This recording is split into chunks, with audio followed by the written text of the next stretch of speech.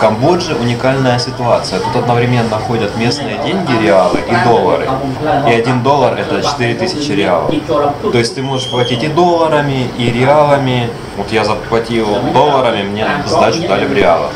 Поэтому, если у вас завалялись какие-то там десятки, двадцатки и прочие доллары помятые, какие-то грязные, которые не хотят по адекватной цене принимать в обменниках, бывает же такое, вы знаете, да? Если вы собираетесь в Камбоджу, то захватите, по-любому тут пригодятся. Тут они ходят как обычные деньги.